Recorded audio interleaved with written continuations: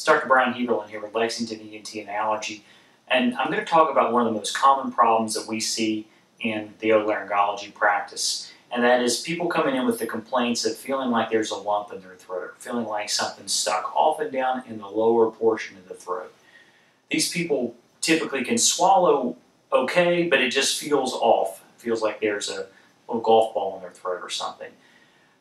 Many, many times this is the result of reflux. So stomach acid is created in our stomachs, and some of that acid gets brought back up into our esophagus. Occasionally, that acid can come all the way back up past our esophagus and into the larynx or the voice box region. This creates some swelling and irritation in the vocal cords and the tissues around the vocal cords. And that can create this swollen sensation and feeling like there's a lump in now sometimes chronic postnasal drainage from either allergies or sinus problems can also create that same sensation.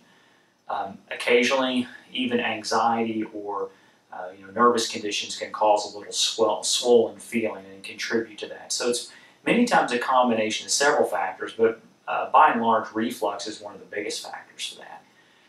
So reflux can be treated by dietary means, and there are certain uh, medic or certain uh, foods that we can tell you to avoid that will often help hurt uh, someone's reflux.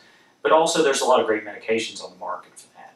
If medications fail, there's even surgery that is done by usually a, a, general surgeon that can help control or stop acid reflux. So that's the, kind of the extreme end of things. We call that sensation of feeling like something's stuck in the throat a globus sensation. And Sometimes other things go along with that. So with globus sensation, we'll many times see people have some chronic throat clearing or even a chronic cough that can happen with that. Many times people will have some changes in their voice, not horrible hoarseness, but um, just a raspiness or a different quality to the voice than they had before.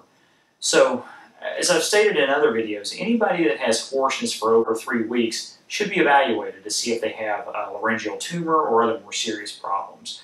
But for those patients who also have this feeling like something's stuck in the throat, there's treatment that could be very helpful in getting that sensation to go away.